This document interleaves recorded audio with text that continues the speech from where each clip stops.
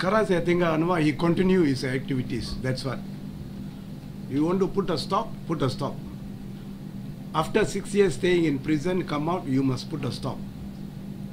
He didn't put a stop. So, So itu dulu you cakap dalam you punya affidavit itu semua betul tak? Betul. Rambut palsu semua. semua betul. Itu rambut palsu itu saya beli di India lah. Ya ke? Ah, Mahal ke tu? di India. Orang ingat dia pakai dia Muslim, tak ada. Dia, dia pakai rambut palsu. Taruhlah dia pakai saya gaun. cakap, dia berani panggil dia angkat saya pergi mahkamah. I will challenge him lah. If he is real man, dia anak jantan, angkat saya pergi mahkamah. Tahu? Dia boleh tipu rakyat, dia boleh tipu the public. He want to spoil the country. He want to hancurkan negara kita. Itu juga. Bukan lain apa-apa.